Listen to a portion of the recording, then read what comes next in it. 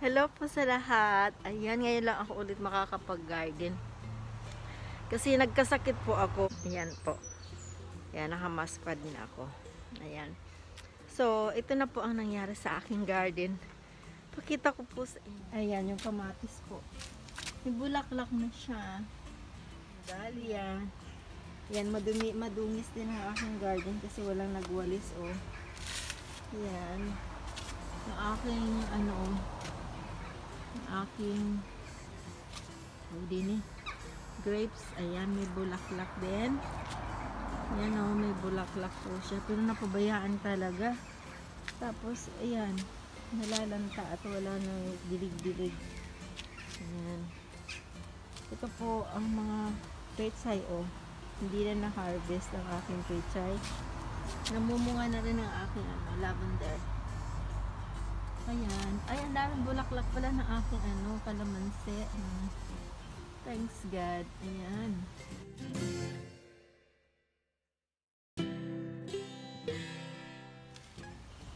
Ayan. Ang aking spinach. Ang spinach po ay kadya pa.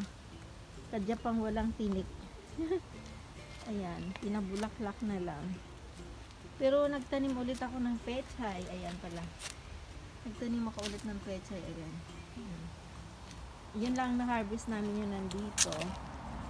Pero yung iba, namulaklak. Ala, hindi ko napapansin, oh. Ayan po, may bunga na ang aking, ano, strawberry. Hinog na din. Ayan.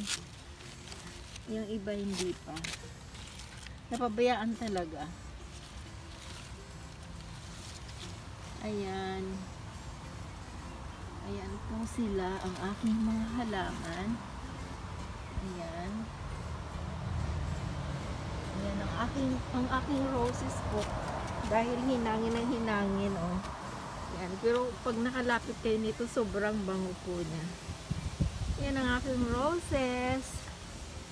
Ayan. Nalamog siya sa ano. Ayan. Mahangin na naman nga. Ang bango-bango po nito. Sobra.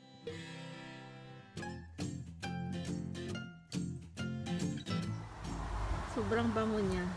At saka ng ano pinitas ko at nilagay ko sa loob ng bahay tumagal siya. Yan.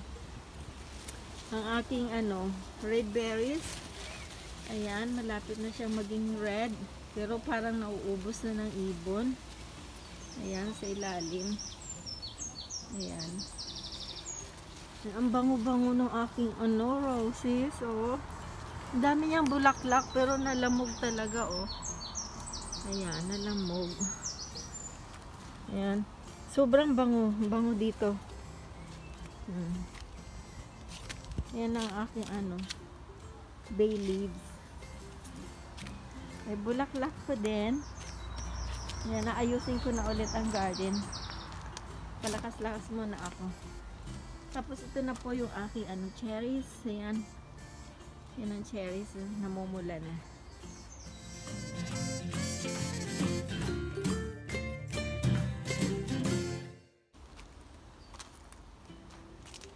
Ayan, ang aking apple, lumalaki na. Marami rin na buong bunga. Pero, pero hindi lahat na buo.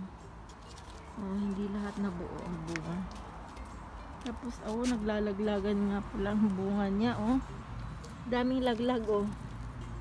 Yan, dami ito, ito ang aking ano, gooseberries. Ito yung sinasabi kong parang kamyas. Ayan, pwede na.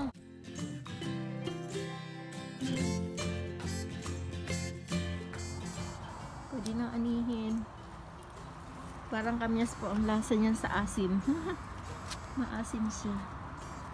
Pinipipit, pin, ah, pinipit-pit po namin tapos lagyan ng bagoong. Masarap na. Tapos ayan po, oh, napabayaan na ang aking pechay. Na namulaklak na siya. Oh. Namulaklak na yung ibang pechay. Iba okay pa. Ayan. Ayan, maraming tubo ang spinach namin. So, marami kaming gulay.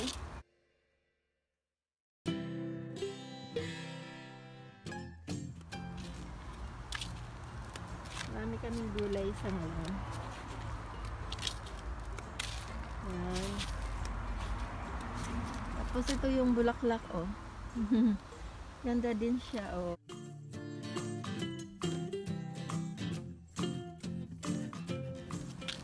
Yan. Once a year lang kasi ito.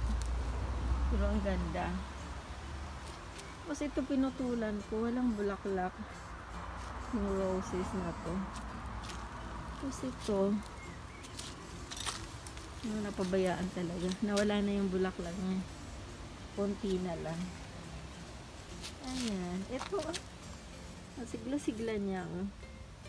Dami rin bin- binigay sa akin bulaklak. Ito nahahawa siya. White dapat yan eh. Nahawa siya ng kulay dito. Ayan. Ayan ang mga bulaklak niya. Ito. Na, iniiputan ng ano. Butterfly yata. Ayan.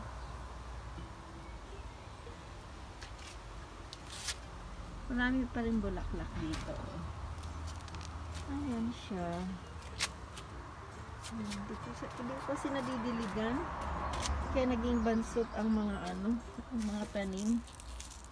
Yan, ito oh. Nabansot din.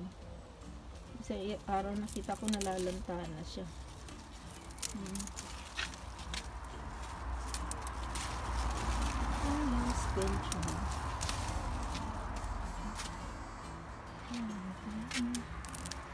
Ito pa, bulaklakin ko na lang ito. Ayan, mga spinach para next year. Marami akong pangtanim. Ayan po ngayon ang aking garden. May bulaklak na ang aking kamatis, pero babawasan ko siya ng dahon.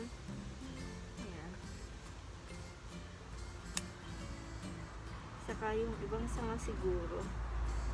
Kasi.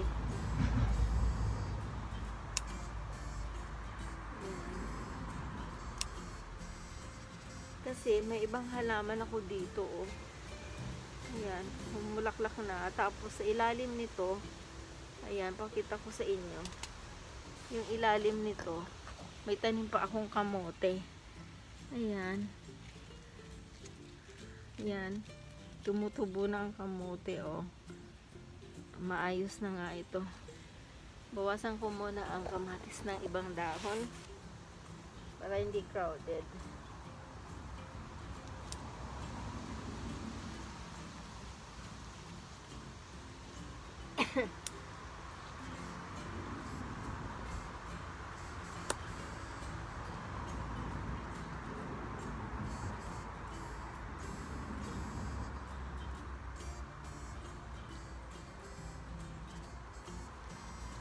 Ilipat ko kaya ito.